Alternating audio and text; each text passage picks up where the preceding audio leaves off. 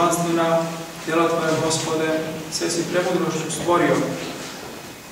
Tako je, braći i sestre, uskliknuo Sveti prorok David, diveći se delima ruku Boži, poremini Božoj, premudrosti Božje. Tako je uskliknuo čovjek prepun vere, čovjek Bogu mio. A čemu se dive, čemu usklikuju ljudi neverni ili maloverni? Oni se dive da, da ruku čovečiju. Delima kao što su lepe zgrade, skupocene mašine, prelepo napisane knjige čovječanskom mudrošću, dakle onome što je čovjek napravio. A da li se Bog nečemu divi, braćo i sestre? I Bog se divi, ali se divi samo ljudskoj veri. Današnje evanđelje nam to otkriva. Gospod se zadivio veri jedne žene zna Božkinje. I zbog toga je rekao, idući se, o ženo, velika je vera tvoja, neka ti bude kako hoćeš. Kaže danas, današnja evanđelska priča, dođe Gospod u nebožaške krajeve, Tirske i Sidonske. Tu je bila tama neznaboštva, tu su ljudi služili idolima, klanjali se idolima. A žena nekako nekako koja je imala čer, besomušnu ludu, čuo da je Gospod došao u te krajeve i pristupi mu sa molbom. Pomiluj me, Gospode, sine Davidov, jer čer moju mnogo muči djavo. Kaže, pomiluj me, Gospode. Ne kaže, pomiluj nas. Nego se moli za sebe. Zašto? Jer se ona više muči nego njena čerka koja ne zna za sebe. Njena muka, gledajući svoju čerku koja se muči od demona, je veća od muke njene čerke koja nije prisebna. Ne vlada više sobom. To kaže, pomiluj me, Gospode. Jer ako isceliš njenu bolest, i meni ćeš pomoći i iscelit ćeš i moju muku. Ali Gospod na njenu molbu čuti. Gospod je obično odgovarao svim ljudima na sva pitanja. Nije odgovorio jedino knjižnicima farisejima koji su ga klevetali i optužili za bogopolstvo. Pred njima je čutao. Ali sada, čudesno, Gospod čuti. Čuti Gospoda i pokazao jasnije obelodanju veru ove žene Ananike. Njeno srce bilo prepuno vere u Gospoda. I zbog toga i nastavlja da moli Gospoda da joj pomogne. I tako svojom molbom ona dosadi i učenicima gospodinu. I oni pristupišu Gospodu sa molbom otpusti je, jer mnogo viče za nakon. Dakle, ili joj pomozi i cijeli večer, ili je otpusti bez uslišenja molbe, samo da nam više ne dosađuje. Pokazuju se učenici prividno milostivi od Gospoda Isa Hrista. A šta im Gospod kaže? Gospod kaže, ja sam poslan samo izgubljenim ovcima doma Izraeljeva. Dakle, samo jevrejskom narodu. A onda žena opet pristupa, sada se već poklanja i kaže iz svega srca, Gospode, pomozi mi. Evo vapa i vernoga srca. I pouka svima nama, braći sestre, kako mi možemo sa te dve reči, Gospode, pomozi, često da zadobijemo milost Božu.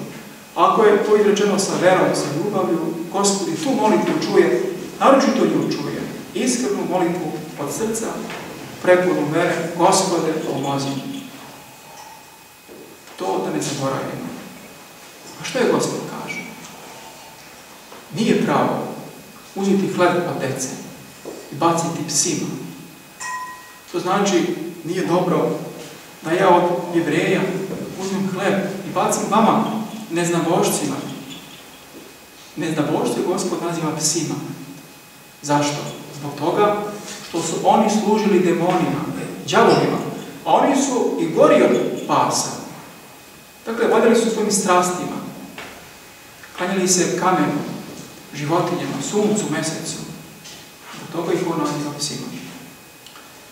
Tada ona izgovori onu čudesnu reč. Da, Gospod. Ali i psi jedu od mrva koje padaju za trpe za njihove gospodare. Evo, tu je i njeno smirenje. Ne li bi se da sebe poredi sa psom? Kao da kaže zaista po svojoj veri, po svojim delima, po svojim gresima, ja sam zaista pas. I priznajem jebrijski narod za svoje gospodare. Ali hoću samo mrvicu Tvoga milosrđa. Dovoljno mi je to. Da se moja čerka iceli, jer tebi je sve moguće. Ja ću biti zadovoljna u tom mrvom. Tada je Gospod uskrivno, zadivio se.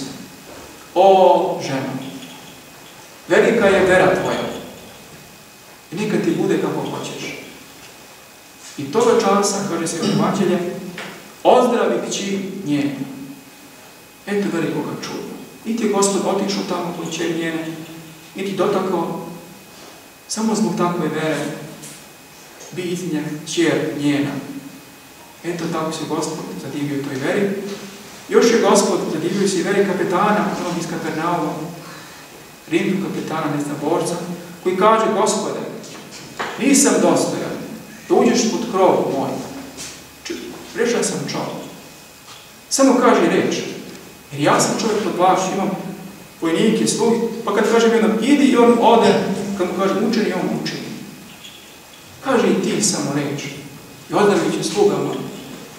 Gospod se zadivio njegovoj veri, kaže, nadivljen, zaista, zaista vam kaže, i u Izraeli ne nađu tolike. Eto, braći i sestre, čemu se Gospod divio? Veri kod ljudi. Šta je vera? Vera je veliki dar Boži. I daje se onome koje traži. Bez vere nemoguće je Bogu ugoditi. Bez vere je nemoguće naše spasenje. Nikako naša dobra dela, trudovi, ne mogu nam pomoći bez prave vere u Gospoda Isusa Hrista. Vera je temelj našeg spasenja. A krov je ljubav. To je kruna svih vrlina. To je vrlina koja je izatkana od svih evanjelskih vrlina. Bog je ljubav.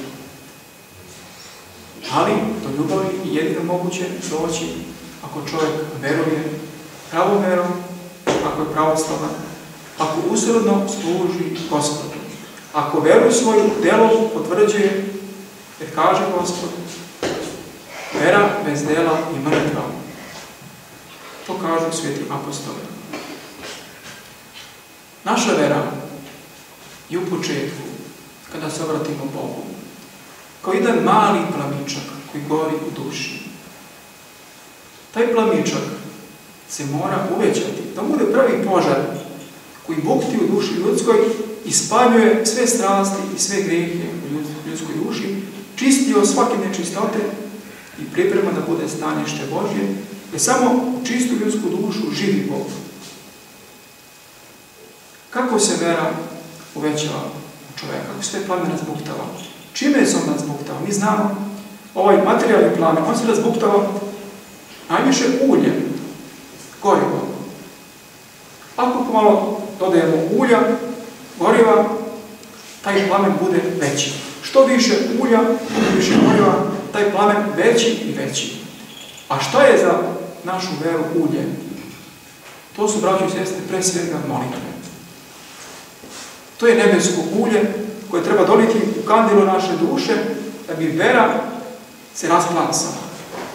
I što više molitve, to više gorivo nebesko, to veći plamen, to veći, veća buktinja u duši koja pali demone i čisti naše srce. Još je nebesko ulje, milosrđe, milostinje, crkvama, manastirima. Još je to ulje praštanje gresi, grehova našim bližnjima od srca. Svako dobro delo, nebesko ulje, kandilo naše duše.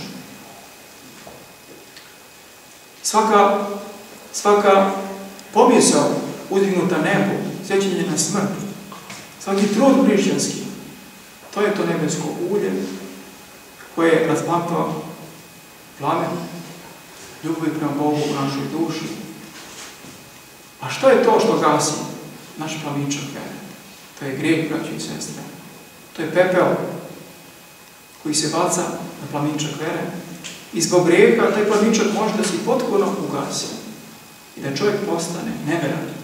I da kaže, nema Boga. Kao što piše na psalmu. Reče bezumnik u srcu svome, nema Boga. To je posljedica grehovnog života.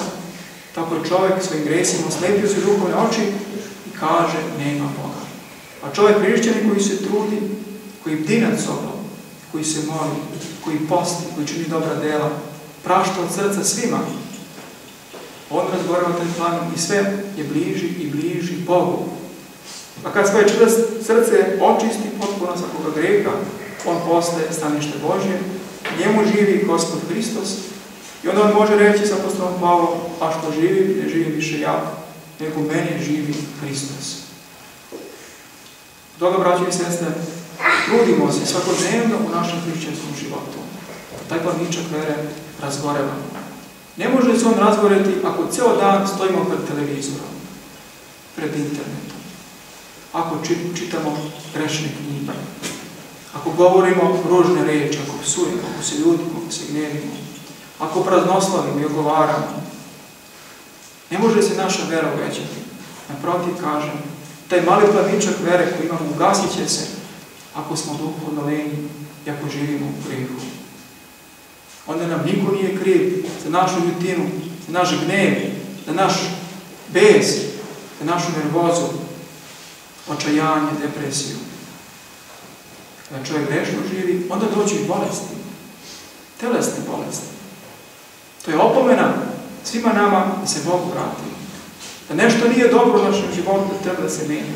Da se kajemo, da se vratimo Bogu. Kad se Bogu vratimo molitvom i dobrim djelima, po Božjem životu, onda će bolest otići, onda će doći mir u dušu našu, onda ćemo mi biti sa Bogom. A kada smo sa Bogom, kada je Gospod sa nama, ko će protiv nas?